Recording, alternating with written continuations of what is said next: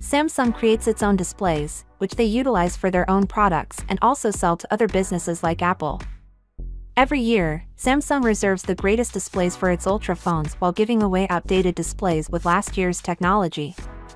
But this year, things changed since the iPhone 14 Pro Max has a better display than the S23 Ultra. We don't sure why they did it, but hopefully they won't do it again with the S24 Ultra.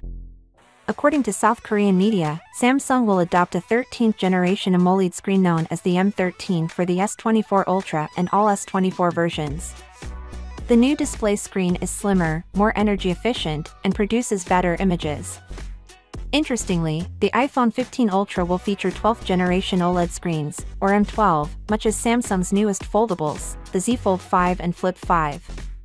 The M13 panels could not appear in Apple's devices until the iPhone 16. Recently, we learned that Samsung will keep the S24 Ultra's 3x telephoto lens, but it will become considerably better. At the time, information was sparse, but now, we are fully aware of the improvements made by the telephoto lens. According to Ice Universe, Samsung will deploy a brand new 50MP telephoto camera with a 3x optical zoom.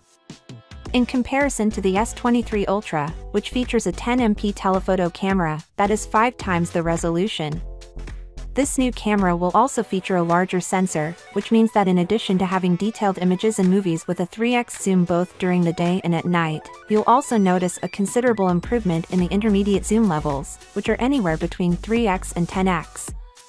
It's about time, I would think, considering zoom cameras have essentially stayed unchanged since the S21 Ultra. The RAM and storage increases are also mentioned in the South Korean story, which verifies earlier claims. It states that Samsung will sell the S24 Ultra in two RAM configurations, 12GB and a hefty 16GB. While the S24 and S24 Plus will also be available in two RAM options, 8GB and 12GB. Additionally, it states that the business intends to raise the standard capacity for all models to 256GB. Finally, what are your thoughts about it?